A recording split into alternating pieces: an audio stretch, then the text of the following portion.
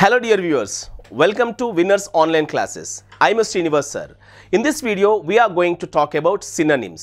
Synonyms అనేటువంటి topic వొకాబులరీలో ఉన్నటువంటి ఒక ఇంపార్టెంట్ కాన్సెప్ట్గా మనం చెప్పుకోవచ్చు మరి సిననిమ్స్ అంటే ఏంటి సిననిమ్స్కి సంబంధించి మనం ఏ ఏ బుక్స్ చదవాలి? అండ్ సిననిమ్స్ పైన క్వశ్చన్స్ ఎలా అడుగుతారు? అనేటువంటి మూడు విషయాల గురించి ఈరోజు మనం బ్రీఫ్గా డిస్కస్ చేద్దాం.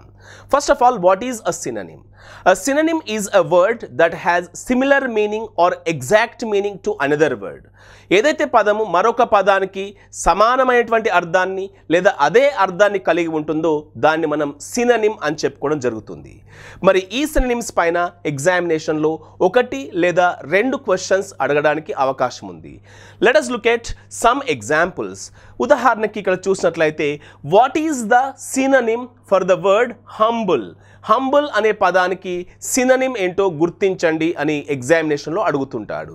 Can you guess what is the meaning of the word humble it is nothing but loyal loyal వినయం గల లేదా విధేయత గల అనే అర్థాన్ని కలిగి ఉంటుంది. Look at the second one hesitate hesitate అంటే సంశయించడం అనే అర్థం ఉంటుంది. And the meaning to this word the synonym to this word is doubt doubt అనేది ఇక్కడ హెజిటేట్ అనే పదానికి ఉన్నటువంటి synonym third one weary what is the synonym of the word weary అంటాడు.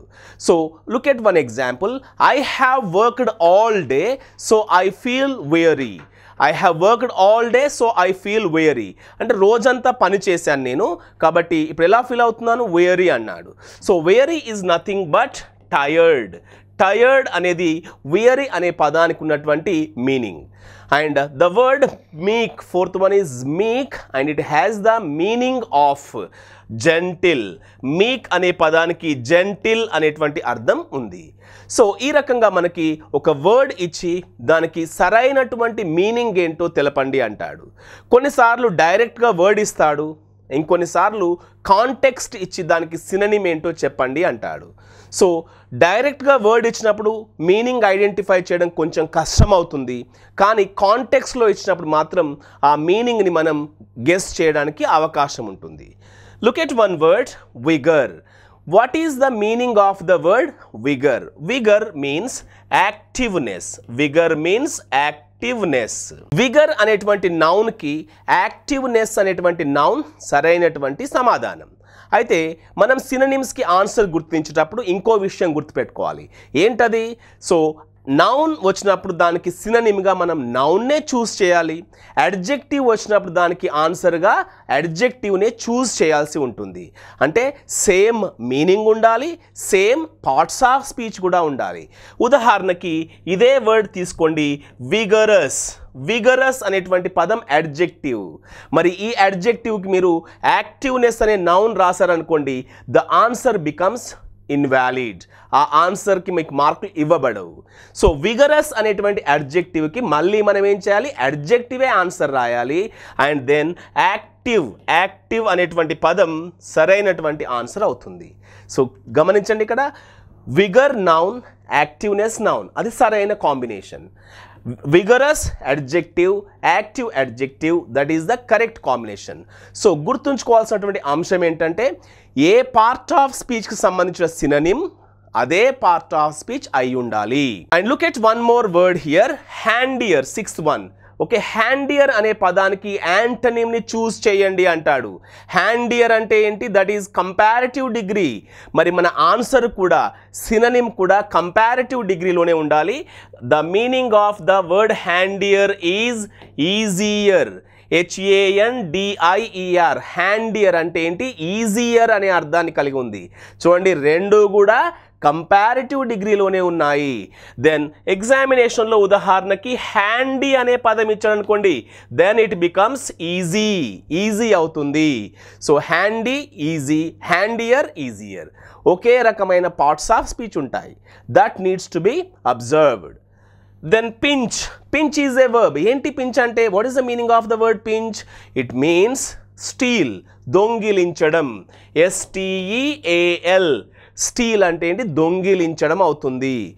And the next one is defy defy means to reject reject అనేటువంటిది సరైనటువంటి సమాధానం. Defy reject and obvious obvious అంటే ఏంటి? క్లియర్ ఆబ్వియస్ అంటే క్లియర్ అనే అర్థం కలిగి ఉంటుంది. మరి ఆబ్వియస్ అడ్జెక్టివే క్లియర్ కూడా అడ్జెక్టివే మరి ఆబ్వియస్లీకి అర్థం ఏంటి? Clearly so obvious clear obviously clearly so అడ్జెక్టివ్కి adjective అడ్వర్బ్కి అడ్వర్బ్ అవుతుంది. Then look at the meaning of the next word fetch fetch means bring fetch fetch అంటే ఏంటి? బ్రింగ్ తీసుకురావడం. మరి ఫెచ్డ్ అని ఇచ్చారనుకోండి అప్పుడు మనం బ్రాట్ అనే ఆన్సర్ రాయాలి. So fetch V one bring V one fetched V two ఇస్తే బ్రాట్ వి టూ అనే సమాధానం సెలెక్ట్ చేసుకోవాలి. Then we have prosperous prosperous is adjective so rich is its synonym prosperous ఇచ్చినప్పుడు రిచ్ అని చూజ్ చేస్తాము. ఉదాహరణకి ప్రాస్పరిటీ అనే నౌన్ ఇచ్చినప్పుడు రిచ్నెస్ అనే నౌన్ని చూస్ చేసుకోవాలి. So this is the first concept ఏంటి ఇక్కడ మనకి? మనకి ఎగ్జామినేషన్లో ఇచ్చినటువంటి వర్డ్కి సిననిమ్ చూస్ చేసేటప్పుడు రెండు కూడా ఒకే అర్థాన్ని కలిగి ఉండాలి రెండు కూడా ఒకే పార్ట్ ఆఫ్ స్పీచ్ అయి ఉండాలి. ఓకే వన్ మోర్ థింగ్ కాంటెక్స్ను బట్టి కూడా పదం యొక్క అర్థం మారుతుంది. అది కూడా మనం గమనించుకోవాలి. ఉదాహరణకి they made C V Raman the knight of British empire they made C V Raman the knight of British empire వాళ్ళు ఏం చేశారు? అతన్ని నామినేట్ చేశారు. అతన్ని అపాయింట్ చేశారు. ఇక్కడ మేడ్ అంటే తయారు చేయడం కాదు. మేడ్ అంటే ఏంటి? దే అపాయింటెడ్ అపాయింటెడ్ అనే అర్థం కలిగి ఉంది.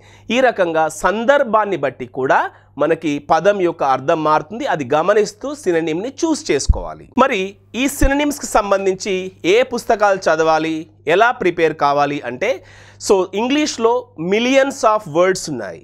మరి ఈ మిలియన్స్ ఆఫ్ వర్డ్స్ ఉన్నటువంటి అర్థాలని మనం తెలుసుకోవడం కష్టం కాబట్టి ప్రస్తుతం ఈ ఎగ్జామినేషన్ ఎస్ఎస్సి స్టాండర్డ్తో జరుగుతుంది కాబట్టి మనం ముందుగా ఫోర్త్ క్లాస్ నుండి టెన్త్ క్లాస్లో ఇవ్వబడినటువంటి పదాలకు సంబంధించిన సిననిమ్స్ని ముందుగా నేర్చుకోవాలి. ఆ తర్వాత టైం ఉండి నేర్చుకోవాలనే ఈగర్నెస్ కనుక ఉంటే మీరు మిగతా పదాలను నేర్చుకోవచ్చు. బట్ ముందుగా మీరు ఫోర్త్ టు టెన్త్ క్లాస్ వరకు ఉన్నటువంటి సినిమ్స్ నేర్చుకుంటూ నేను చెప్పిన విధంగా క్వశ్చన్స్ని ప్రాక్టీస్ చేయండి. తప్పకుండా ఈ టాపిక్ పైన మంచి మార్క్స్ని సాధించవచ్చు. సో ఇలా చదివితే ఇది కష్టమైనటువంటి కాదు. చాలా ఈజీగా యాక్యురేట్గా మీరు ఆన్సర్ చేయొచ్చు. So this is the end of the class thank you so much and wish you all the best